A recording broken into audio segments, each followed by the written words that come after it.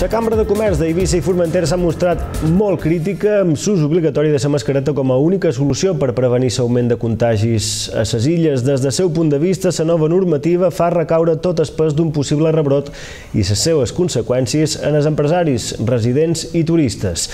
Per això reclamen en el govern més accions i que siguin més efectives, però insisteixen que amb això no n'hi ha prou. Més controls en els ports i aeroports, tests en els llocs d'origen o garantir la cobertura sanitària són algunes de les propostes que fan des de la cambra. El problema, des del seu punt de vista, és que la comunitat balear no té prou pes a Madrid.